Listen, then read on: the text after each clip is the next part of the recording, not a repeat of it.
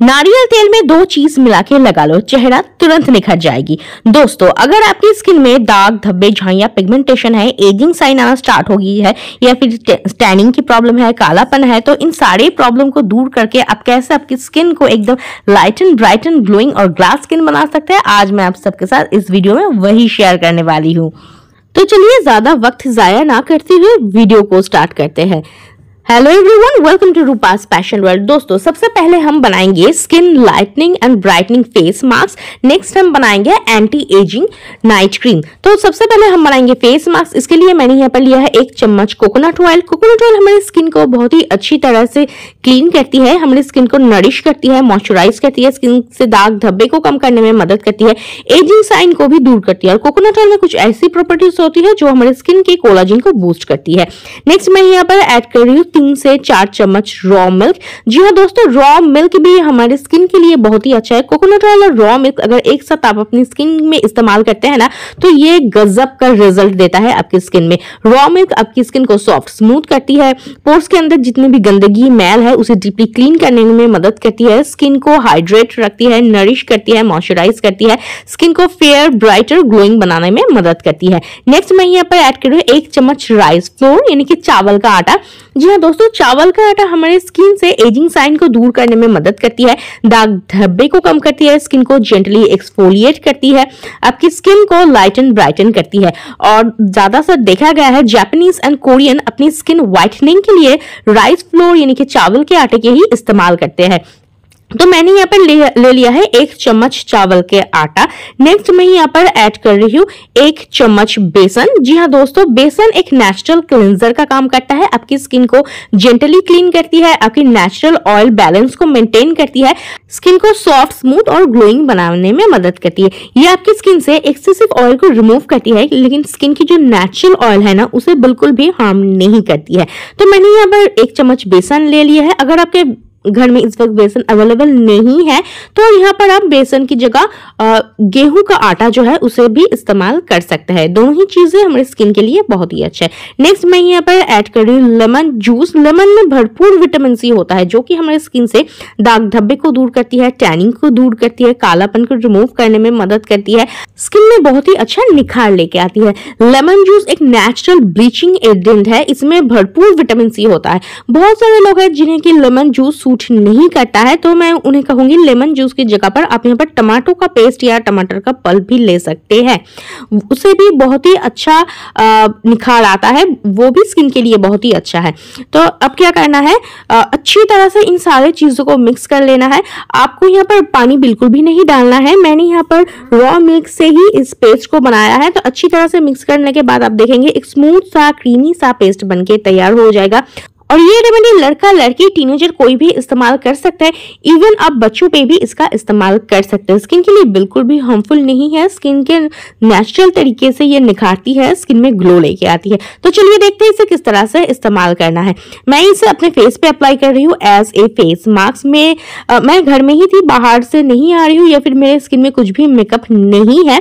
अगर आपकी स्किन में मेकअप है या फिर बाहर से आ रहे हैं स्किन में बहुत ही ज़्यादा गंदगी या फिर मैल है तो सबसे पहले स्किन को आ, कोई भी जेंटल फेस वॉश से क्लीन कर लीजिए उसके बाद इस रेमेडी को इस मास्क को अप्लाई कीजिए। तो मैंने सिर्फ़ मैं पानी से ही मेरे फेस को धो लिया था उसके बाद फेस में अच्छी तरह से इसे अप्लाई कर रही हूँ एज ए फेस मास्क। अच्छी तरह से इसे अप्लाई करने के बाद आपको इस तरह से हल्के हाथों से इसे स्क्रब करना है। यहाँ पर जो चावल का आटा है, वो जेंटली आपकी स्किन को स्क्रब करेगी। आपकी स्किन में जितनी भी डेड स्किन सेल की लेयर है, उसे रिमूव करेगी टैनिंग को दूर करेगी ये मास्क और स्किन को लाइट एंड ब्राइटन बनाएगी। दाग धब्बे को भी कम करने में मदद करेगी। खास करके फोर हेड के एरिया या फिर नोज़ या फिर चीन बोन जहाँ पर व्हाइट हेड्स ब्लैक हेड्स की प्रॉब्लम होती है ना, वहाँ पर हल्के हाथों से थोड़ा सा ध्यान देके स्क्रब कीजिएगा। इससे क्या होगा, आपकी स्किन में जितने भी व्हाइट हेड्स और ब्लैक हेड्स है ना, वो भी बहुत ही आसानी से रिमूव हो जाएगा। कम से कम दो से तीन मिनट इस तरह से हल्के हाथों से आपको स्क्रब करना है। उसके बाद इसे छोड़ देना है एज ए फेस मास्क ये रेमेडी आपकी स्किन को लाइटन ब्राइटन करेगी स्किन को टाइट करने में भी मदद करेगी और स्किन में बहुत ही अच्छा ग्लो लेके आएगी और टैनिंग या फिर जितनी भी गंदगी है, उसे रिमूव करके स्किन में बहुत ही अच्छा निखार लेके आएगी। अब मैं इस फेस मास्क को दस मिनट तक छोड़ दूँगी ताकि अच्छी तरह से ये फेस पे वॉक कर सके। 10 मिनट बाद क्या करना है, मैं गीले टावल की मदद से अच्छी तरह से इसे रिमूव कर रही हूँ। और आप देख सकते हैं स्किन पहले ही स्टेप में कितना क्लीन क्लियर हो गई है। तो अच्छी तरह से फुल फेस से मैं इसे रिमूव करके नॉर्मल वाटर से फेस को क्लीन कर लूँगी। ना ही आपको ठंडे पानी का इस्तेमाल करना है, ना ही गर्म पानी का नॉर्मल रूम टेम्परेचर में जो पानी आता है उससे ही आपको अच्छी तरह से इसे क्लीन कर लेना है। और इसे हफ़्ते में आप दो से तीन दिन इस्तेमाल कर सकते हैं। सबसे अच्छा वक्त है रात को सोने से पहले ट्राई कीजिए। अब मैंने मेरे फेस को अच्छी तरह से क्लीन कर लिया है नॉर्मल वाटर से आप देख सकते हैं स्किन एकदम क्लीन क्लियर हो गई है और मैं बहुत सॉफ्ट एंड स्मूथ भी महसूस कर रही हूँ। चलिए अब बनाते हैं anti ageing ageing night cream इसके लिए सबसे पहले मैंने यहाँ पर लिया है कोकोनट ऑयल कोकोनट ऑयल हमारे स्किन के लिए बहुत ही अच्छा है। आपकी स्किन से एजिंग साइन को दूर करती है स्किन को टाइट बनाती है, दाग धब्बे को दूर करती है स्किन को नरिश और मॉइस्चराइज करती है। नेक्स्ट मैं यहाँ पर एड कर एक चम्मच एलोवेरा जेल। जी हाँ दोस्तों, यहाँ पर मार्केट वाला एलोवेरा जेल ही चाहिए। आप किसी भी ब्रांड के ले सकते हैं। एलोवेरा जेल क्या करता है? मेरी स्किन को नरिश करती है मॉइस्चराइज करती है। अगर आपकी स्किन में दाग, धब्बे एक्ने रैशेज इस तरह की प्रॉब्लम है तो उसे भी कम करने में मदद करती है और सन बॉन्ड को भी हील करती है। नेक्स्ट मैं यहाँ पर ऐड कर रही हूँ एक चम्मच रॉ मिल्क रॉ मिल्क हमारे स्किन के लिए बहुत ही अच्छा काम करता है, जैस, जैसा कि ये अच्छी क्लेंजर का काम करता है ना, और अच्छा मॉइस्चराइजर भी है। दुनिया का सबसे अच्छा मॉइस्चराइजर है रॉ मिल्क रॉ मिल्क आपकी स्किन को सॉफ्ट स्मूथ बनाती है ओपन पोर्स को कम करने में मदद करती है, आपकी स्किन टोन को इम्प्रूव करती है, निखारती है स्किन को लाइटन ब्राइटन और ग्लोइंग बनाने में मदद करती है। बहुत ही अच्छी तरह से मिक्स कर लेना है तो फिर हमारा ये जो नाइट क्रीम है, वो बनके बिल्कुल तैयार हो जाएगा। आप चाहे तो इसे फ्रिज में स्टोर करके रख सकते हैं।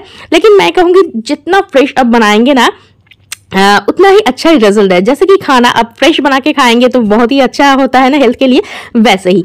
अब अब क्या करना है? इसे आपको फेस में अच्छी तरह से अप्लाई करना है। जिस तरह से आप मॉइस्चराइजर या फिर सीरम अप्लाई करते हैं ना बिल्कुल उसी तरह से। हल्के हाथों से इसे देकर आपको अपनी स्किन में मसाज देना है। मसाज देने से क्या होता है? आपके स्किन में बहुत ही अच्छा ग्लो आता है। मसाज देने से हमारे स्किन में ब्लड सर्कुलेशन होता है इंक्रीज होता है, जिसकी वजह से स्किन में बहुत ही अच्छा ग्लो आता है। आप अपने उंगलियों की मदद से आँखों के आसपास इसे हल्के हाथों से मसाज दीजिएगा। ये आपकी आँखों से डार्क सर्कल या फिर फाइन लाइंस जितनी भी प्रॉब्लम है ना, उसे धीरे धीरे कम करने में मदद करेगी और आपकी स्किन में बहुत ही अच्छा ग्लो और निखार लेके आएगी। ये आपकी स्किन को टाइट करेगी। अगर ओपन पोर्ट्स की प्रॉब्लम है ना, उसे भी धीरे धीरे कम करने में मदद करेगी और स्किन में बहुत ही अच्छा ग्लो लेके आएगी। फेस के साथ साथ आप इसे अपने हाथों पैरों में भी इस्तेमाल कर सकते हैं। अगर आपके हाथों पैरों में रूखापन है ड्राइनेस है तो इन सारे प्रॉब्लम को भी ये नाइट क्रीम दूर करने में मदद करेगा। और स्किन के लिए तो बहुत ही अच्छा अच्छी तरह से इसे इस तरह से मसाज देके स्किन में एकदम अब्जॉर्ब कर लेना है। उसके बाद ओवरनाइट आपको इसे छोड़ देना है। इसे अप्लाई करने के बाद ना ही तो आपको फेस वॉश करना है या फिर आ, कुछ और ट्राई करना है। बस ओवरनाइट स्किन में छोड़ देना है। ये रेमेडी ओवरनाइट आपकी स्किन के ऊपर वर्क करेगी। स्किन को लाइटन ब्राइटन करेगी, आपकी स्किन को सॉफ्ट स्मूथ बनाने में मदद करेगी स्किन में बहुत ही अच्छा ग्लो लेके आएगी। और इस रेमेडी को अगर आप कुछ दिन कंटिन्यू करते हैं ना तो दोस्तों आप खुद ही फील करेंगे, आपकी स्किन ना एकदम सॉफ्ट स्मूथ सफल हो जाएगी स्किन में बहुत ही अच्छा ग्लो आ जाएगी और स्किन दिन ब दिन निखरती जाएगी। तो शुक्रिया दोस्तों वीडियो को देखने के लिए। पसंद आए तो लाइक और शेयर कर देना बेल बटन को प्रेस करना बिल्कुल मत भूलना, ताकि मेरे नेक्स्ट वीडियो के नोटिफिकेशन आप सबके पास जल्द से जल्द पहुँच जाए। मिलते हैं नेक्स्ट वीडियो में। वीडियो को देखने के लिए बहुत बहुत शुक्रिया। শুক্রিয়া